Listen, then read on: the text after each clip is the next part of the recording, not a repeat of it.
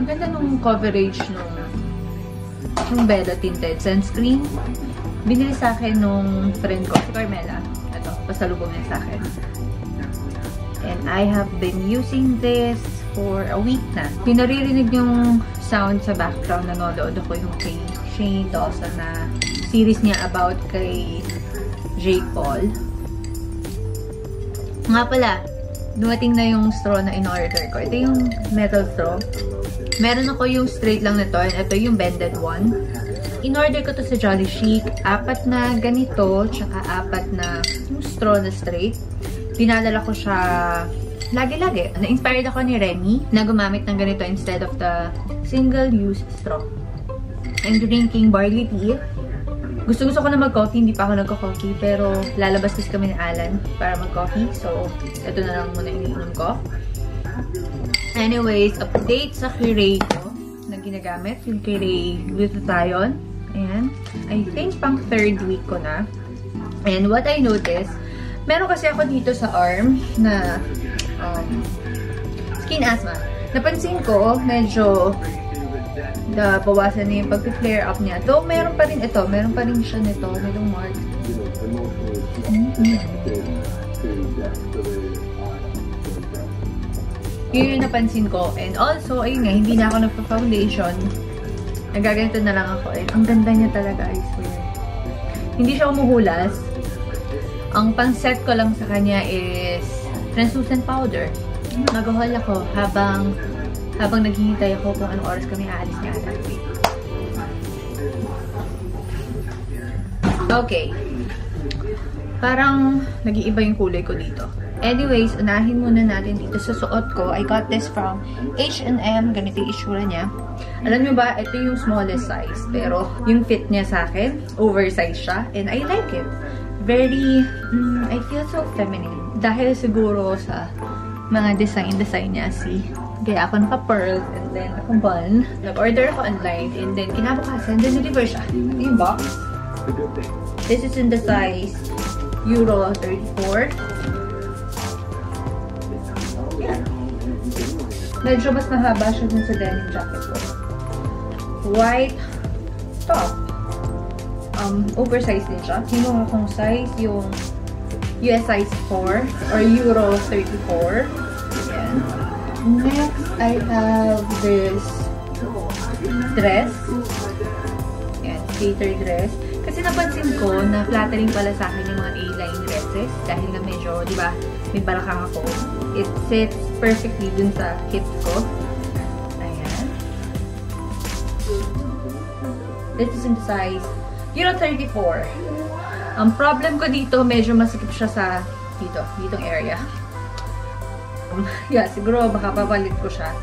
Though yung sa hips tsaka sa bewang, okay naman siya. Pero sa dibdib, medyo masikip. Camisole top ba ang tawag dito? Ayan, lace top. There. Ayan. I got it in the size. Nagkamali sila ng send sa size. Papapalit ko rin to. This is in Euro size 32. Dapat 34. Ayan. Kasha sa akin pero yung bandang dibdib, masikip. Next is this long, flowy skirt. Floral siya. Hanggang ankle ko siya. Ang ganda ng ano. Ang print niya. Floral. Distressed jumper.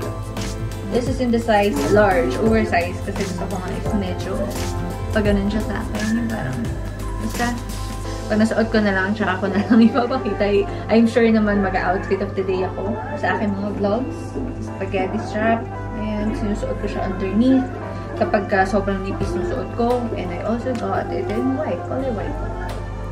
That's all from H&M. Yung distributor nila dito is Alshaya. From Marks and Spencer. Actually, puro to kay Brenda.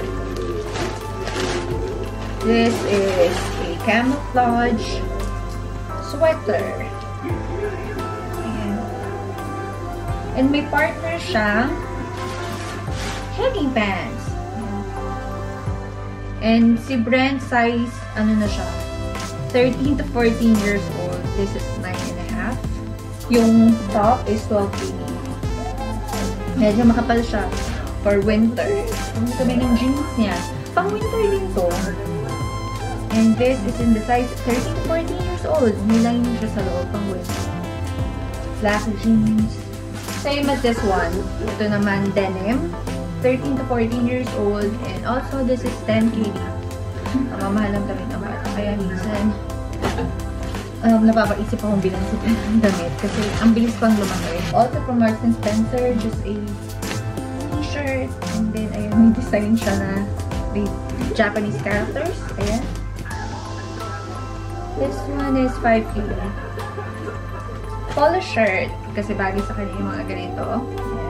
This one is 5 and a half. And I also got it in this color. Ayaw ni Alan to. Mukhang ano daw hoop. And, and then from Shariol, another um, Forever Young bracelet, bangle. Ito yung box. 130 original price niya. Then may discount to 20 kg, so 110 kg na. This is the Philips Shariol bangle steel yellow, Forever Young steel screws, steel cable. Suot ko na siya. Kung mapapansin niyo siguro sa arm ko, itong nasa gitna. Itong nasa gitna. This one, yung binili namin nung last. And then, ito naman, I got this on Mother's Day.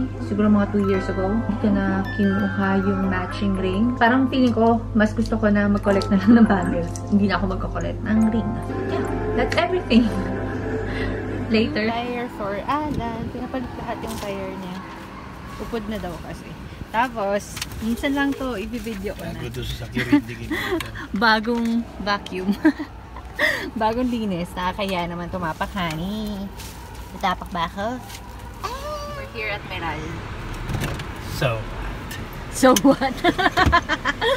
Loka-loka. Ganda ng view dito. Bira lang kami alam pumunta dito. Pero ang ganda ng view. Pupunta kami dun sa Coffee Bean and Kili. I'm vlogging using my phone. Hindi ako mag nagpipicture. Na, nagpi-video ako. Ah, sige, later. Butan kong i-vlog. I'm having matcha green tea. Ice blended. Si Alan hazelnut over ice. This one is sweet potato pie. And there's my date. Malis na kami. Okay lang sana eh. Okay lang magtambay doon pero ang lamig ng AC nila eh. Ang lamig pa nung drinks namin. Gininaw lang kami ni Alan. Tapos paglabas namin, wow, pare, humid. o pare, pinagbubukas ko pa. Oh. Ang init naman ng upuan, pero okay lang.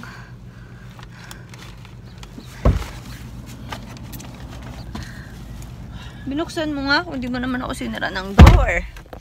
Dati, ani, pinagbubuksan mo pa ako. Ayaw ko sumagot, nire-record mo. ramdam na ramdam ko yung pagnanasa mo sa akin noon. Ngayon, bala ka sa buhay mo. Dito na kami sa school. Waiting.